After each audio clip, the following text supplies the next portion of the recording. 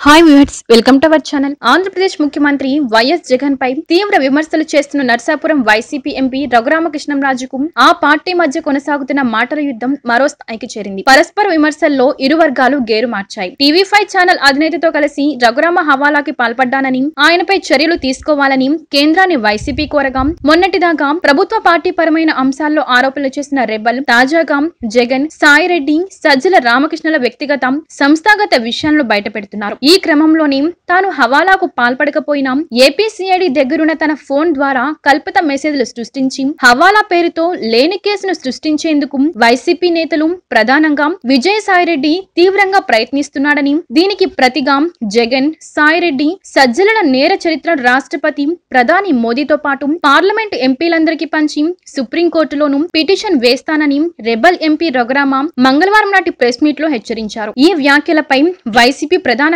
కార్యదర్శి parliamentary party నేత విజయసాయిరెడ్డి బుధవారం నాడు ట్విట్టర్ వేదికగా స్పందించారు. రెబల్కి సాయిరెడ్డి ఘాటు కౌంటర్ ఇచ్చారు. అదే సమయంలో టీడీపీ చీఫ్ చంద్రబాబు పైన భారీ సెటైర్లు వేశారు. అనుకూల మీడియా గాలి కొడుతుంటే పేటరేగిపోతున్నావు కానీ ప్రజలకు నీ పార్టీ గురించి ఫుల్ క్లారిటీ ఉంది బాబు. పెండింగ్లో ఉన్న పరిషత్ ఎన్నికల కౌంటింగ్లో కూడా ఏలూరు ఫలితమే రిపీట్ అవుతుంది. పన్నెండుకి పన్నెండు కార్పొరేషన్లు జగన్ గారికి కానుకగా ఇచ్చారు ప్రజలు. ముగిసిపోయిన చరిత్ర నీది. వర్షాలు పడొద్దు రిజర్వాయర్లు నిండొద్దు సీమ ప్రాజెక్టులు ఆగిపోవాలి అనే స్థాయికి దిగజారాడు. రెండు రాష్ట్రాల మధ్య నిప్పు రాజుకోవాలని మనసారా కోరుకున్నాడు. పాపం టీడీపీకి వచ్చే అసెంబ్లీ ఎన్నికల్లో అన్ని స్థానాలకు అభ్యర్థులు దొరకడం కష్టమే బాబు. నువ్వెంత డబ్బు కుమ్మరించినా పరువు పోగొట్టుకునేందుకు సిద్ధపడేవారు దొరకాలిగా. స్థానిక ఎన్నికలు పరిషత్ పంచాయతీ ఎన్నికల్లో ఆపసోపాలు పడి ఎదురుపైకం ఇచ్చి నిలబడితే జనం ఈడ్చుకుంటారు చివరికి మిగిలేది మీ ఇద్దరే అని చంద్రబాబు విమర్శించారు సాయిరెడ్డి. ఇక రెబల్ విషయంలో ఓ మీడియా అధినేతతో ఎంపీ రఘురామ సుమారు పది కోట్ల రూపాయల హవాలా నడిపినట్లు కేంద్రానికి ఆధారాలు సమర్పించిన వైసీపీ రఘురామ విదేశాలకు పారిపోకుండా పాస్పోర్ట్ సీజ్ చేయాలని కూడా కోరింది. దీనికి ఇరవై కేసులున్న సాయిరెడ్డి పాస్పోర్ట్ కోసం ప్రయత్నిస్తున్నాడు.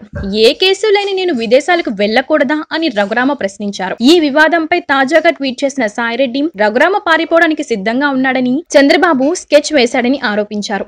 పారిపోయే ఆలోచన లేనోడికి మిలియన్ యూరోలతో పనేంటి? స్కెచ్ వేసిన చంద్రబాబు సామాన్యుడా? పోలీసుల కంటపడకుండా ఎంతో మంది ముద్దాయిల్ని దాచిపెట్టిన చరిత్ర తెలిసిందేగా? కేంద్రాన్ని అప్రమత్తం చేస్తే అంత ఉలికెందుకు? డిస్క్వాలిఫై అయిన మరుక్షణం ఎగిరిపోవడానికి రెడీ అవుతున్నాడు అని ఎంపీ సాయిరెడ్డి పేర్కొన్నారు. ఇక ఇదిలా ఉంటే ఆంధ్రప్రదేశ్కి పోలవరం ప్రాజెక్ట్ జీవనాడి. ఈ ప్రాజెక్ట్ పూర్తి చేసిన పాలకులు చరిత్రలో నిలిచిపోతారు. పోలవరం ప్రాజెక్ట్ నిర్మాణంలో దివంగత ముఖ్యమంత్రి వైఎస్ రాజశేఖర రెడ్డి అద్వితీయ పాత్ర గురించి తెలుగు సమాజానికి బాగా తెలుసు. ప్రస్తుత ఆయన కుమారుడు వైఎస్ జగన్ ముఖ్యమంత్రి హోదాలో ఉన్నారు. తండ్రి వైఎస్ఆర్ కలల ప్రాజెక్ట్ పోలవరాన్ని పూర్తి చేయాలనే దృఢ సంకల్పంతోనే జగన్ ఉన్నారు. విభజన చట్టంలో దీన్ని జాతీయ ప్రాజెక్ట్గా మార్చారు. ఈ ప్రాజెక్ట్ని పూర్తి చేసే బాధ్యత కేంద్రానిది. కారణాలు ఏవైనా ఈ ప్రాజెక్ట్ నిర్మాణ బాధ్యతను రాష్ట్ర ప్రభుత్వమే తీసుకుంటుందని నాటి ముఖ్యమంత్రి నారా చంద్రబాబు నాయుడు అడిగి మరీ తీసుకున్నారు. ఇదే ఏపీకి శాపంగా మారింది. పోలవరం ప్రాజెక్ట్ అంచనా వ్యయంలో సగం ఖర్చు మాత్రమే భరించేందుకు కేంద్ర ప్రభుత్వం సుముఖంగా ఉంది. ఈ నేపథ్యంలో పోలవరం ప్రాజెక్ట్ భవిష్యత్ ప్రశ్నార్థకమైంది. ఈ నేపథ్యంలో పోలవరం ప్రాజెక్ట్కి రెండోసారి సవరించిన అంచనా వ్యయం నలభై ఏడు వేల ఏడు వందల ఇరవై ఐదు కోట్ల రూపాయల ఆమోదం తెలిపేందుకు కేంద్ర జలశక్తి శాఖ అంగీకరించినట్లు వైసీపీ ఎంపీలు ప్రకటించారు. ఇదే నిజమైతే మాత్రం ముఖ్యమంత్రిగా Y S Jagan super success అయినట్లే అని అభిప్రాయాలు కూడా వ్యక్తమవుతున్నాయి. ఈ అంచనా వ్యయానికి సంబంధించి వెంటనే ప్రతిపాదనలకు కేంద్ర ఆర్థిక శాఖకు కేంద్ర మంత్రి మండలికి పంపి ఆమోదింప చేస్తామని జలశక్తి శాఖ మంత్రి గజేంద్ర సింగ్ షేకావత్ హామీ ఇచ్చారని వైఎస్ఆర్ కాంగ్రెస్ పార్లమెంటరీ పార్టీ నేత వి విజయసాయిరెడ్డి చెప్పారు. పోలవరం ప్రాజెక్టుకి సవరించిన అంచనా వ్యయాన్ని ఆమోదించి పెట్టుబడి క్లియరెన్స్ ఇవ్వాలని కోరుతూ విజయసాయిరెడ్డి నేతృత్వంలో ఆ పార్టీ ఎంపీలు కేంద్ర జలశక్తి శాఖ మంత్రి గజేంద్ర సింగ్ షేకావత్ కీలక చర్చలు జరిపారు. సమావేశ వివరాలను విజయసాయిరెడ్డి వెల్లడించారు. నిర్వాసితులకు రెండు వేల పదమూడు భూసేకరణ చట్టం ప్రకారం పరిహారం అందించేందుకు కేంద్ర ప్రభుత్వం ముందుకొచ్చినట్లు ఆయన వెల్లడించారు. అంచనా వ్యయం నలభై ఏడు వేల ఏడు వందల ఇరవై ఐదు కోట్లకు ఆమోదం తెలిపితే మాత్రం పోలవరం నిర్మాణానికి ఎలాంటి అడ్డంకులు ఎదురుకావు. ఎన్నికలకు ఏడాది ముందే పోలవరం నిర్మాణం పూర్తి చేసి బీడు భూములకు సాగునీరు అందించిన ఘనతను జగన్ సొంతం చేసుకుంటారు. కేంద్ర ప్రభుత్వం ఇచ్చిన మాటకు ఏ మాత్రం కట్టుబడి ఉంటుందో కాలమే తేల్చాల్సి ఉంటుంది. సో వివర్స్ చూశారు కదా?